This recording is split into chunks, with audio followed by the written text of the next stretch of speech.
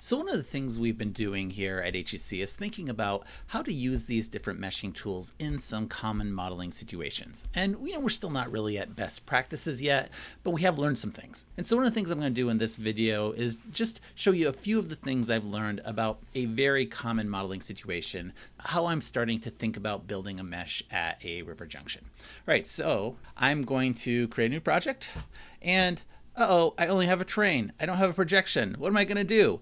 Well, one of the cool things about the new projection tools in RAS is it'll strip a projection off of just about anything. Anything that can be projected has projection data in it. You don't need just just need a PRJ file. The projection tool can go and strip that off of about anything. And this TIFF file has a projection in it. So I'm just going to drag that over here and I'm going to call this trib demo and create and I have projection. And so again, I'm going to go in and you know, make my terrain. We have other videos on this, so I'll do it quickly and I'll just pull that terrain over in here. I will import it and I have my terrain. Okay, so I have this junction right here that I'm going to work on. And now, just to kind of take a step back, uh, another thing that we found here uh, that there is some diversity in how we use these new tools, like just even how we start out. Um, a very common way to start out is to just make a big mesh to start out with, just a one arc mesh, um, almost like you're starting with a new perimeter and mapper. Go in and put in your boundary conditions, see what gets wet, and refine it from there. One of the things I like to do is actually invert that problem, is to start with a channel and move out. And just because of what we're showing here today, that's what I'm going to do. And so I want to model this junction right here. And so let's zoom in. Oh, I'm going to create a geometry, and then I'll build my conceptual mesh. And we'll do this pretty quickly because we have other videos on this. But, you know, I need an upstream face, and then I'll just kind of track this to here. a downstream face. And then I'll just kind of track this channel up here. And because it's a channel, I'm going to use quads. You can go see the other videos on the difference between quads, but it's actually going to become important. I'm going to say my quad length is 100 and I want five of them wide. And when I make that mesh, that's what it looks like. Pretty good. Okay, so now I want to bring this tributary in. And so I'm going to split this here. Now, how do you split this? You might want to right click. That's not how we do things in, uh, in RAS 2025. You're going to press control. This is one of the key things you really need to know because there isn't a button to do this. When you press control, you see how that splits this? And so you can double click now and you're connected to that. And so I'm just going to also give this tributary four sides. Why am I giving it four sides?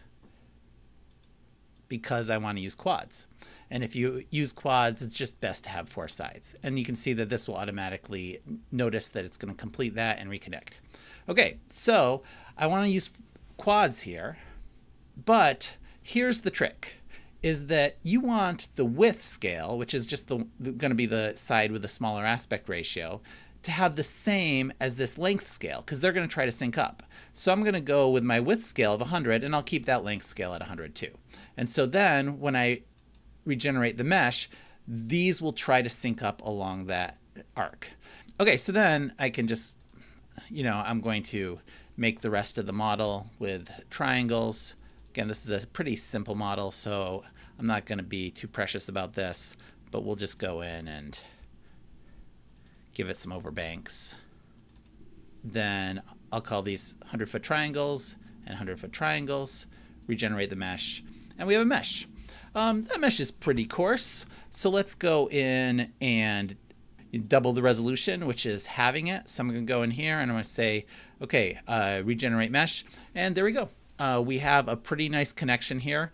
So one of the things I don't love here is that even though these cells sync up well with the channel, because I need a constant number of flow path channels essentially we get very small cells up here at the boundary. And I'd like to relax that. I'd like the ability to collapse and expand cells.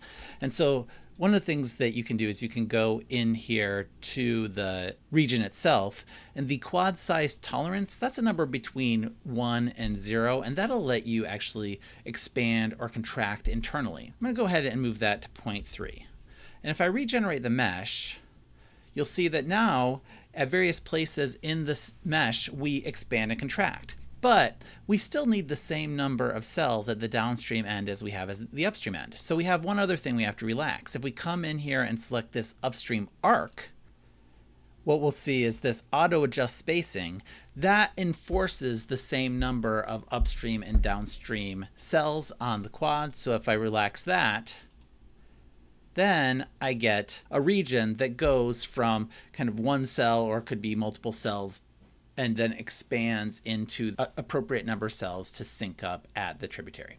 So that's a pretty good mesh, but the one thing we don't love about this mesh is you know you got flow coming down here and you've got big cells transitioning into these little cells. So there's a couple ways you could do about that. If you want to relax the cell size, you can come in here and say, okay, I want to make these cells bigger in the width. Remember, you don't want to make them bigger in the length because that's matched up. But I want to make them bigger in the width, so I'm going to double them. Nope, this is like a SAT question, right? And it's since it's the count, in order to make them bigger, you need to have the count.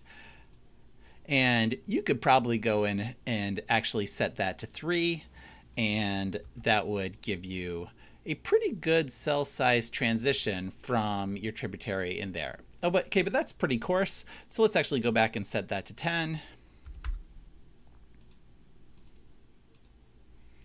And there we have our, our transition.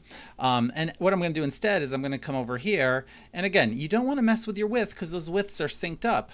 But we can have our cell size in this direction.